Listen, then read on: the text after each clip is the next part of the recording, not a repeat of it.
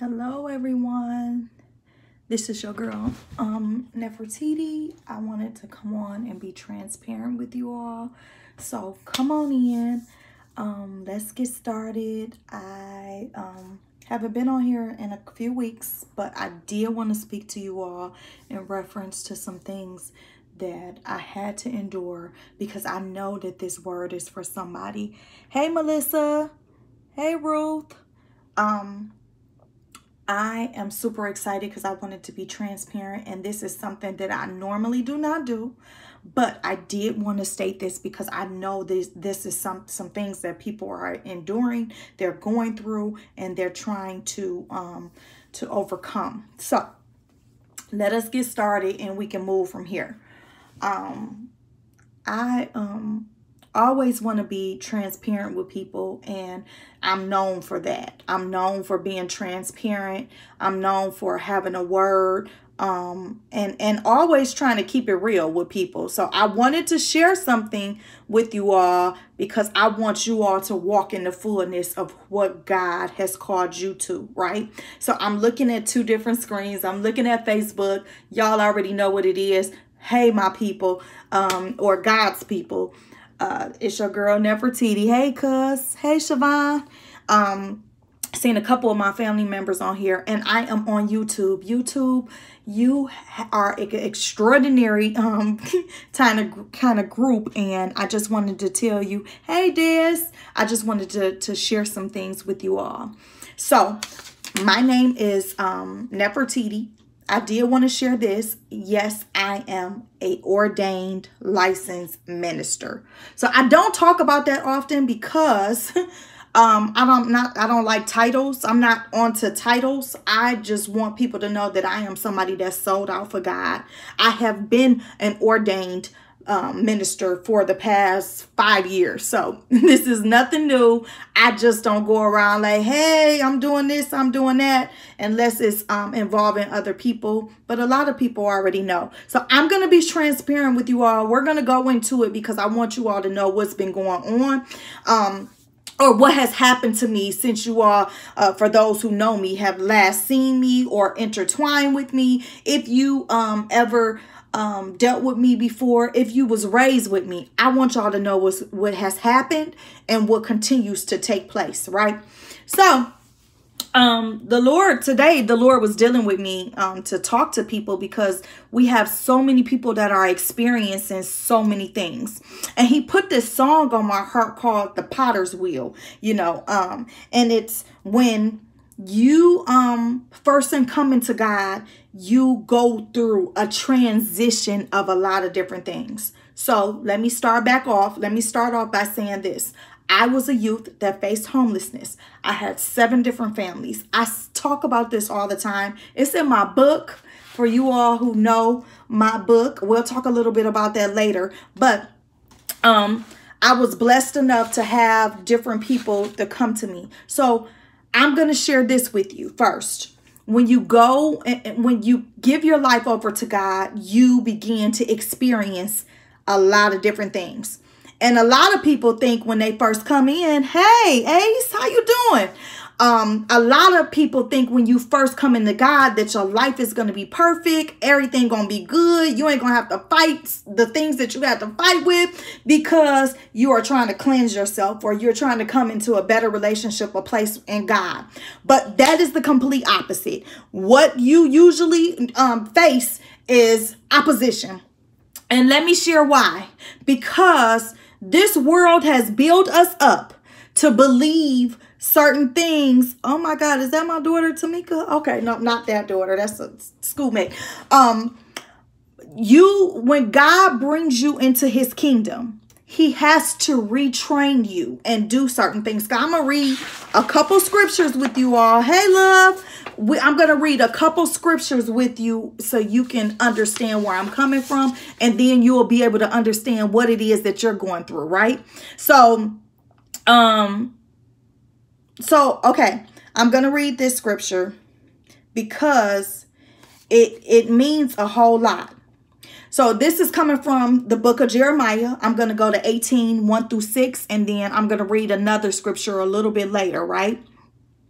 So it says, the word which came from Jeremiah from the Lord. Arise and go down to the potter's house, and there I will make you hear my words. Then I went down to the potter's house and saw that he was working at a wheel. But the vessel that he was making from clay was spoiled by the potter's hand. So he made it over, reworking it and making it into another pot that seemed good to him. Then the word of the Lord came to me, O house of Israel, can I not do with you as this potter does, says the Lord? Look carefully, as the clay is in the potter's hand, so are you in my hand, O house of Israel.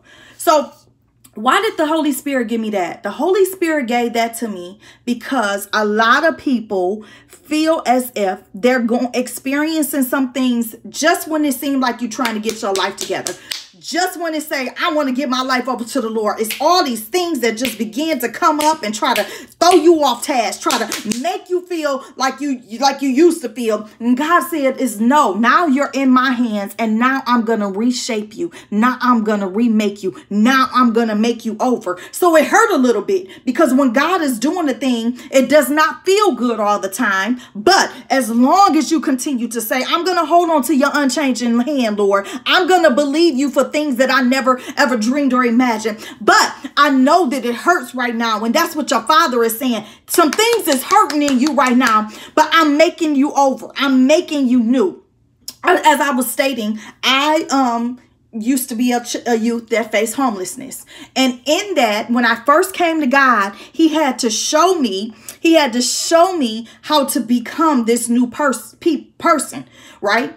And so he had to deliver me from the, the, the, the spirit of abandonment because you who all know abandonment, you end up having issues. And God didn't want me to take that into my future. He said, if you're going to end up being able to help somebody else, I'm gonna have to deliver you from abandonment. Then he, I, I had to deal with rejection. So how do you get re, uh, uh, delivered from rejection? You get delivered from rejection through rejection because your faith has to shift from off man onto God. I'm talking to you right now. I'm letting you know the things that has been taking place. You may feel as if it's been excruciating, but God got you on that wheel and he's the potter. He says, I don't know if y'all remember the song where it says he he has the whole world in his hands. Don't you know that you're in his hands? If you believe in God, if you trust what God is doing, then he has some stuff for you. He's trying to build you up and make you new.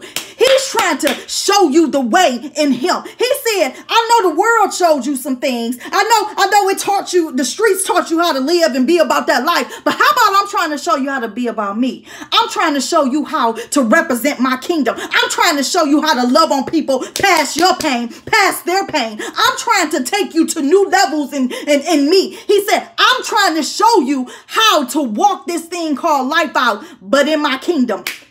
So it's going to take you being on the wheel for a little bit so I can cut those edges off of you. I can I can remold you. I can remake you. I can turn you into that person that you desire to be because some of us know and realize that something was missing. It was a greater cause that was calling us to. And and what that was is he was calling us into his kingdom. He said, "I want to show you how to walk like me. I want to show you how to talk like me. I want to show you how to be like I want you to be. Who I called you to from the beginning of the earth. Before you was even born. He, he said, I created you in the of your mother's womb and I have special plans for you. And it's it's of good and not of evil and and to bring you to an expected end. That's what our father is saying. So Again, he had to take me to a place. I gave my life over to the Lord, and then I began to go through things.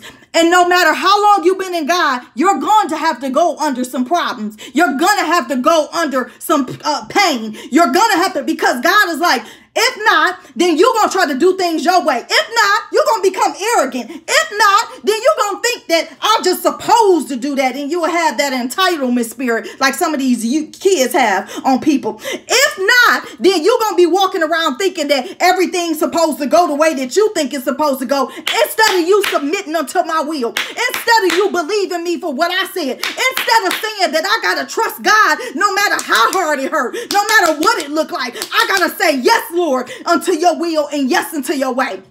So I started off talking about how we get on the potter's wheel when we first give our lives over to God. Now I'm going back and I'm to I'm to speak some things. So yes, I went through a transition um I went through a transition of God delivering me from abandonment. He delivered me from rejection. Now, this thing, this thing right here, this takes some years to get delivered from, right?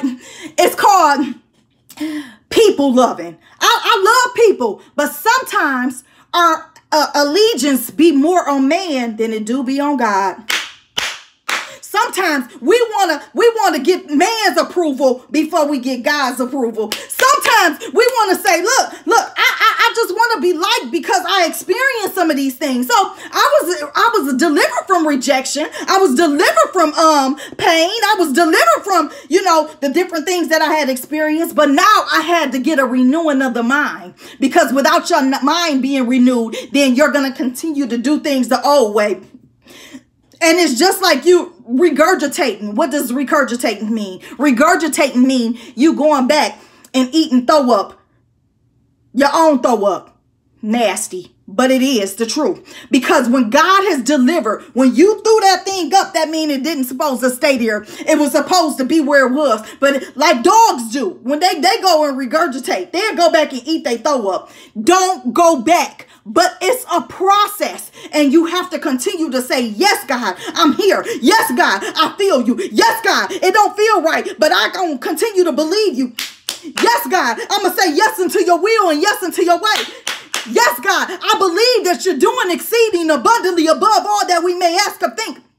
But yo, I didn't have the Bible, the word in me that good at that time. So I'm just like, Lord, Daddy, I need you to help me because I, I know I can't do this thing on my own. I just told him how good he was to me. Father, you are the great I am. You are you are just so awesome. You you there's nobody that's like you, Lord, and I need your help. I can't do this thing on my own. I cried out to my Father.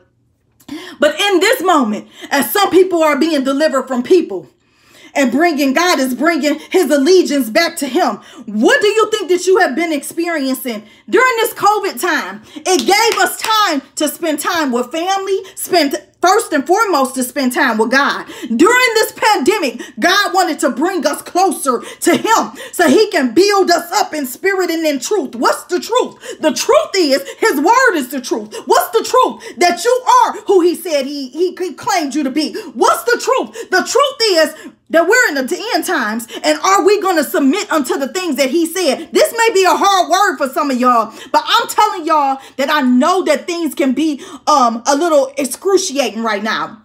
So going into this this is where i'm leading to right? When god delivered me from all of those different things then he said, Now I can build on you. Now you can step into your purpose. Now you're not going to go back and try to get revenge off of people because I got this. This is my world. You are my child. I got this thing. But you're going to have to stand still for a minute. That means you're going to have to endure some pain. That means you're going to have to say, God, I know it hurts, but what else can I do? I'm just going to continue to give myself over to you.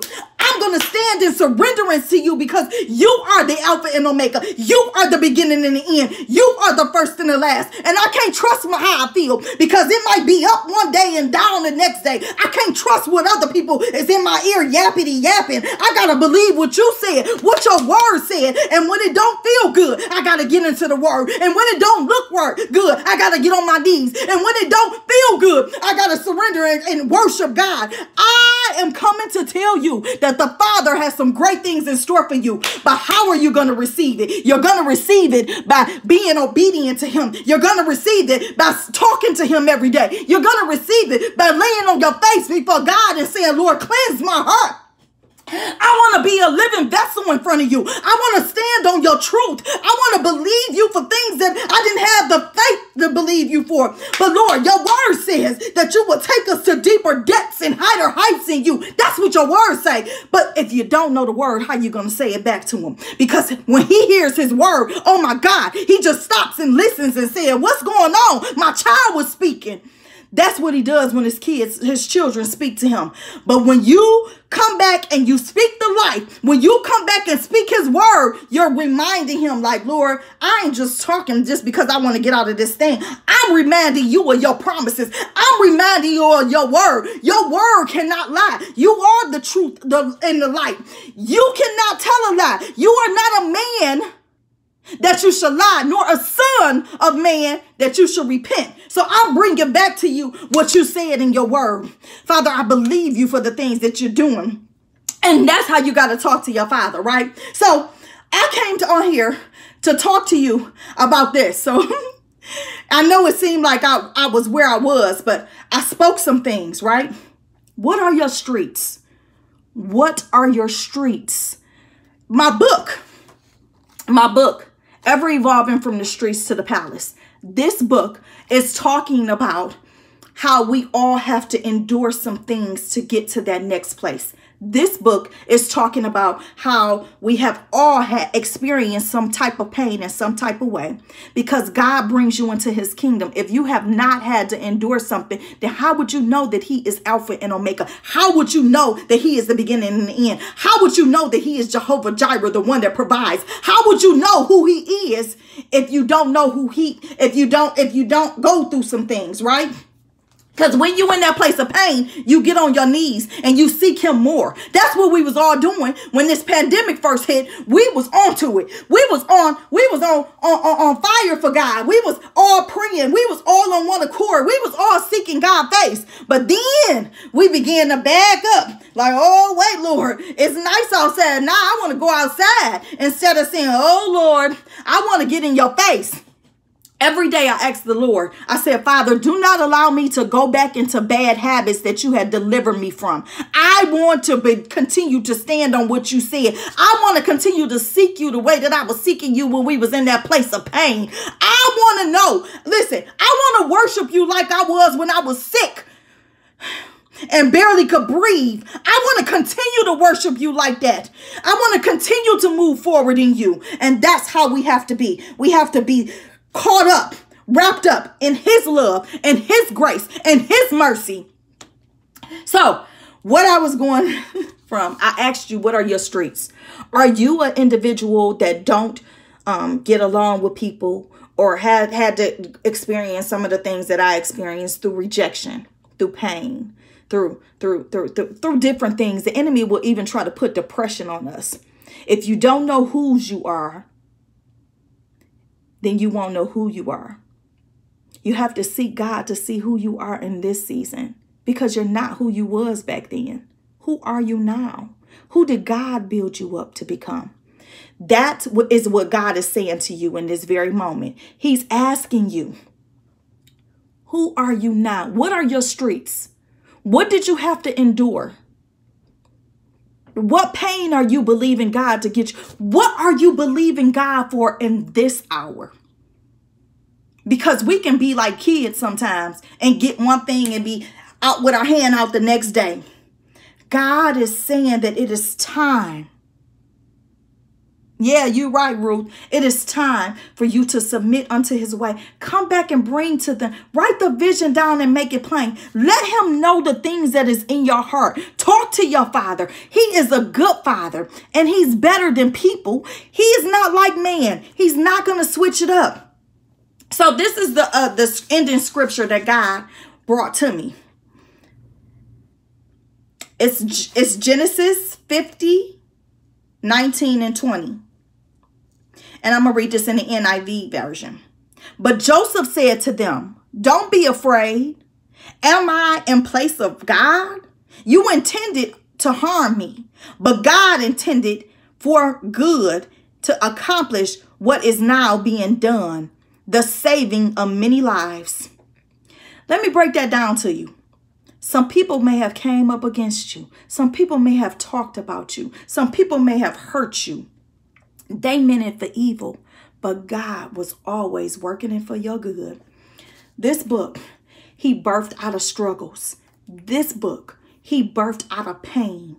Then he brought me into a new space to be able to help people to know to, to have a heart for people to not be always stuck on what i'm going through and to be able to pray for other people with the fervency as if i was praying for my praying for myself praying for my loved ones. Because i love people but he had to deliver me over the allegiance to man to the allegiance to god. Are you believing god to bring you to new spaces in him are you trusting the process that it is working for your good? Are you believing Him to do exceeding abundantly above all that we may ask or think? God is good. If you're feeling some pain, just know that you're on the potter's wheel. If you're going through some things, just know that you are on the potter's wheel and God is making a new vessel. I don't look like I used to. And if I do, it's only because you should see something different in me. You should tell who is really in God because people can talk about God all day, all, all day, but their hearts be far uh, uh, away from God because their fruit shall show. Your fruit shall show. Don't be up here one day talking and judging people and then be down here. And I'm not talking, I'm talking about in how we treat people. We supposed to love everybody. But first, you may need to see God to deliver you from some things. If you're on the potter's wheel, know that it's working for your good. If you're surrendering to God, know that it's working for your good. If you're believing Him for some things, know that it is working for your good. Romans 8 and 20 said, 8 I always quote this scripture because this is something that I have to continue to remind myself and remind others. Romans 8 and 28 says, And we know that all things are working together for the good of them that love God and who are called according to his purpose. Who is his? God, his purpose. But do you know that? It started off saying, and we know. If you don't know that, then you won't have the reassurance. You won't have the assurance that is working for your good, but you got to know it. Get into the face of God. If you need to close that door, turn the phone off, spend a half an hour. You can scroll on social media for a half an hour. Close your door for a minute. Get into God's face. Turn off the television. Turn off the turn off turn off the radio. Turn off turn the phone off for 30 minutes and give it to God. Let us go before the throne of grace. I pray that this has blessed you. God is so amazing. Um, I would not be who I am without his love without me being on that wheel for him to deliver and bring me to new spaces and places in him. I am growing in God and you are too, but only if you're continuing to, to surrender.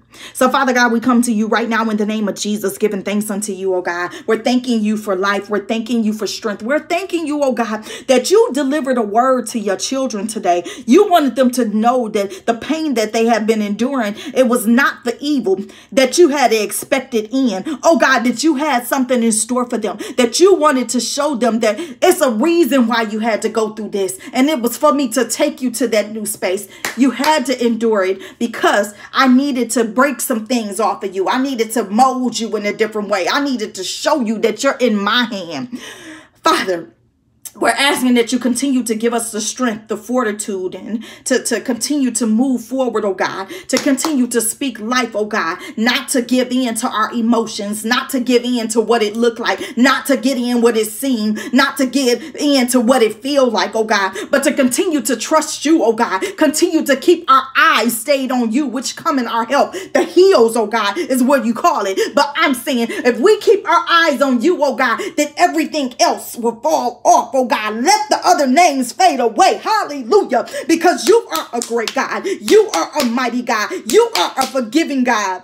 Lord, we have done some things, but Lord, you are capable to throw them in the lake of fire, oh God, if we repent unto you. So, Father, I am repenting for myself. I cannot repent for other people, but some of them, I feel their hearts they're in a space where they want to get closer to you but they don't know how. They don't know that they could just just start talking to you because it feels a little silly at first until you get into that space until they feel your love embrace them oh god Father, we're asking that as you take us to new places and spaces in you, oh God, that you will continue to give us the fortitude, oh God. Continue to love us on ways that we can never be loved on. Man can't love us like this. Woman can't love us like this. Our mama can't love us like you can. Our fathers can't love us like you can. Not even our children. Hallelujah. So, Lord, as you continue to show us the way, sway us with your love, syncopate our hearts, oh God, so we can be on one accord with you, so we can come to you and sing in your harmony and your grace. We can come to you, oh God, saying, Holy, holy, holy.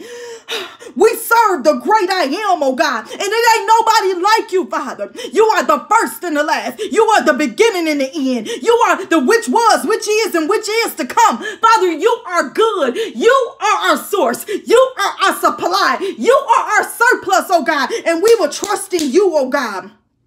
Now, Lord, for those that are not understanding what's going on with them, give them revelatory insight. I pray that this word touches the masses.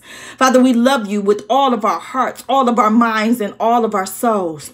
We need to turn our hearts back unto you because our allegiance should not be to man. Our allegiance should be towards you and only you. You are a jealous God, and we hear you. Thank you, Father, for your love it endures forever. Your love is is is irrevocable. Your love is irrevocable. Your your grace, oh God, only you can give it. Father, thank you for the word. Thank you for being who you are, mighty. You never fail. You never fail, oh God. You're always beautiful. In everything that you do, you're just, oh God. And your word is good. You are good and good alone. We love you, Lord, but not as much as you love us with your irrevocable love. In Jesus' mighty, matchless name, we pray. Amen, amen, and amen. amen, everybody. I love you all. I pray that this word has blessed you. I know that, um, please share this because this may, somebody you know may be wondering or pondering why they are experiencing what they're experiencing. God loves you with the everlasting love. You are all beautiful, and God is reshaping and renaming you. In Jesus' name, I love you all. See you later.